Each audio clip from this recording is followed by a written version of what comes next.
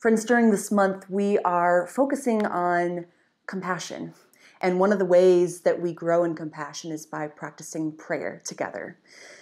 We will be praying the prayers of the people. I will I will offer a petition and leave space for you to to pray with me, for you to offer your petitions aloud or within the silence of your hearts.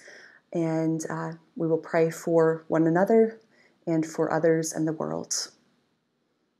Together, let us pray for the people of this congregation.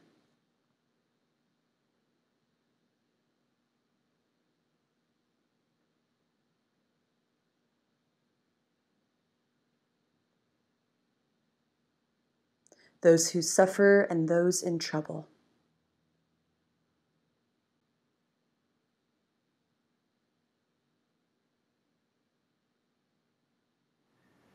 Our Father, who art in heaven, hallowed be thy name. The concerns of this come, local community. Thy will be done on earth as it is in heaven.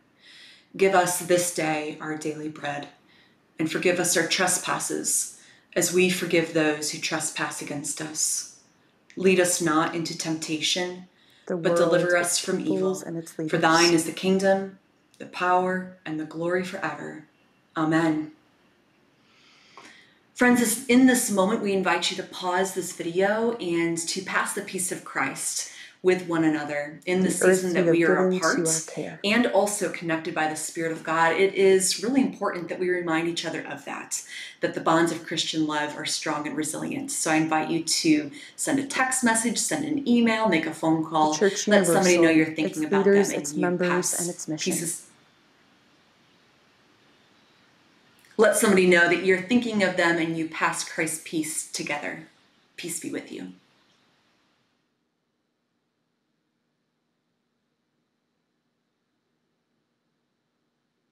the communion of saints who we name before you now.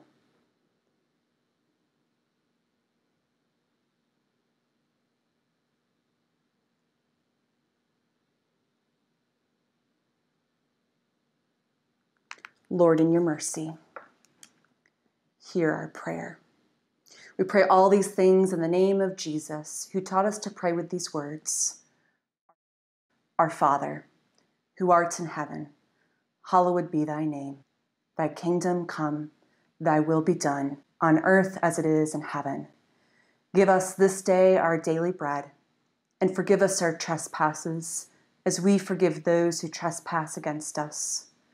Lead us not into temptation, but deliver us from evil. For thine is the kingdom, and the power, and the glory forever. Amen. Friends, in this moment, we invite you to pause this video and to pass the peace of Christ with one another in the season that we are apart and also connected by the Spirit of God. It is really important that we remind each other of that, that the bonds of Christian love are strong and resilient. So I invite you to send a text message, send an email, make a phone call, let somebody know that you're thinking of them and you pass Christ's peace together. Peace be with you.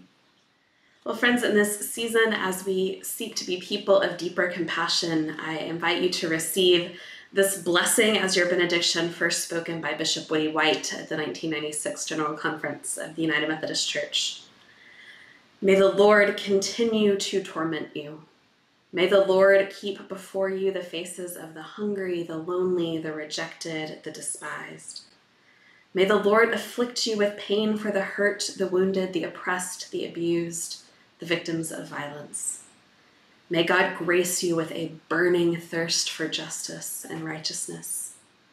May the Lord give you courage and strength and compassion to make ours a better world, to make your community a better community, to make your church a better church.